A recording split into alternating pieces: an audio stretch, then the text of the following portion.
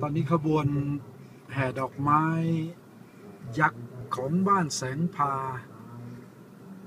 อำเภอนาแห้วจังหวัดเลย ก็ทยอยเอาเข้ามาวัดนะครับ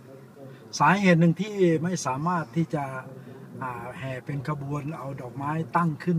ได้ก็เนื่องจากาที่บ้านแสงพานะครับ เราจะเห็นสายไฟฟ้านะครับ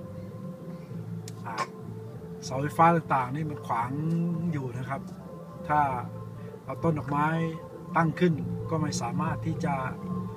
อเอาต้นดอกไม้ผ่านได้ก็เนื่องจากเสาไฟฟ้าต่ำนะครับ ขนาด 10 กว่าเมตรก็ยังไม่ได้ครับ เพราะว่าต้นดอกไม้ที่ชาวบ้านแห่มานี้อย่างน้อยก็ 10 12 เมตรแล้วนะครับ ประเพณีแห่ดอกไม้ยักษ์ ในวันสงการนั้นก็จะมีที่อำเภอนาแห้วแห่งเดียวนะครับ วันนี้สื่อมวลชนต่างๆ เข้ามาที่นี่ค่อนข้างจะเยอะนะครับ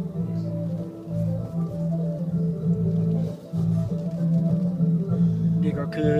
ส่วนหนึ่งของความยิ่งใหญ่ความอลังการของประเพณีแห่ดอกไม้วันสงกราร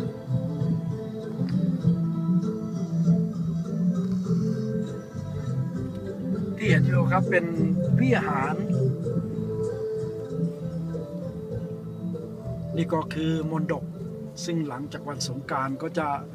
นำพระพุทธรูป ซึ่งมีลักษณะคล้ายคลึงของหลวงพระบางนะครับมา